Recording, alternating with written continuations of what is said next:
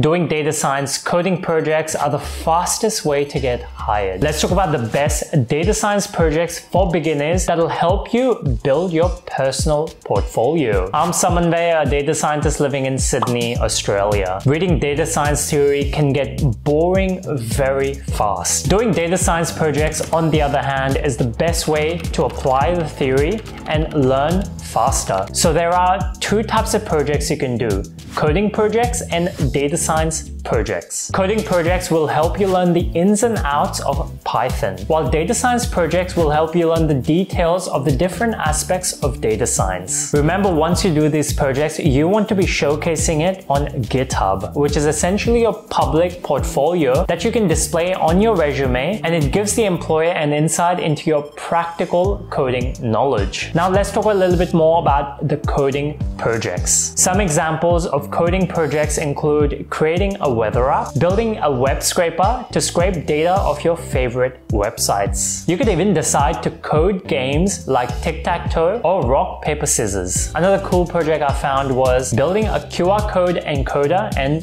decoder. So there are essentially two approaches to doing this coding projects. The first is starting simple and increasing complexity as you level up your knowledge of Python. For example, let's say you've just learned about if-else statements. So in this case, you could build a simple application that takes a user input in the command line and uses an if-else statement to print something based on the user input. Now, let's suppose that after the if-else statement, you learn about for loops. So you can add that extra layer of complexity to your initial program. In this case, you could ask for a list of user inputs. And then you could take that list, use a for loop to run through each of the words in that list, and have a separate if-else statement to action on each one of those words. So as you can see, you've taken something simple and you've made it a little bit more complicated. This approach is best when you're incrementally learning Python syntax. The second approach is to start by building an application. This could be a web application or a home loan calculator and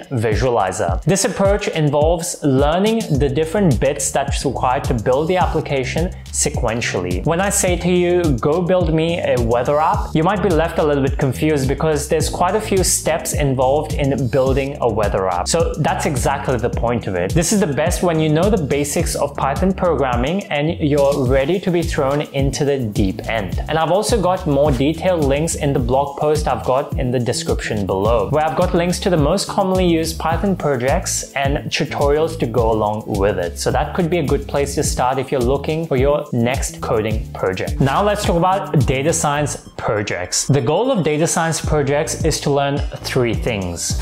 Firstly, data analysis and exploration, then data visualization, and finally, applying machine learning algorithms. You'll still be doing Python programming in these data science projects, but these projects will give you more exposure to more data science specific packages like NumPy, Pandas, and TensorFlow. For your first data science projects, I'd recommend getting started with a Jupyter notebook. These are the easiest to get set up with and the easiest to use right off the bat. I'd recommend getting an open source dataset and exploring the different facets of that data. This process is called exploratory data analysis or EDA. So in terms of where to find these open source dataset, first place you should look at is Kaggle. So in Kaggle, not only will you find different types of data sets, but a lot of people will also be uploading the Jupyter notebooks they've used for the exploratory data analysis. So there's a bit of collaborative learning there. Other popular data sources for these open source data sets is UCI Machine Learning Repository, Google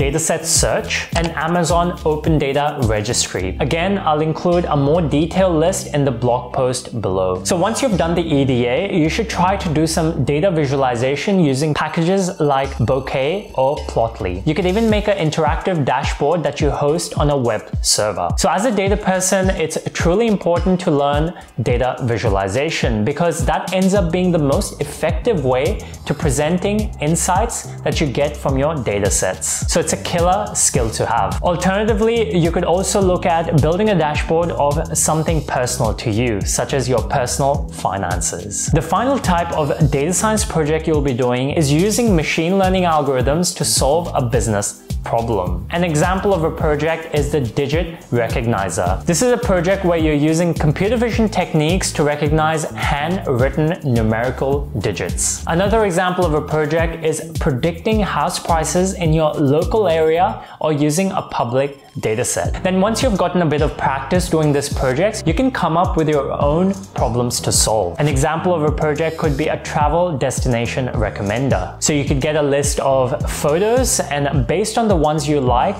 the recommender system will recommend you places that you might like given your photo preferences. And if you're a little bit more interested in doing these projects alongside theory, then check out my three month roadmap for learning data science. That's a wrap for this video. If you enjoyed it, then smash the like button and I'll see you next time.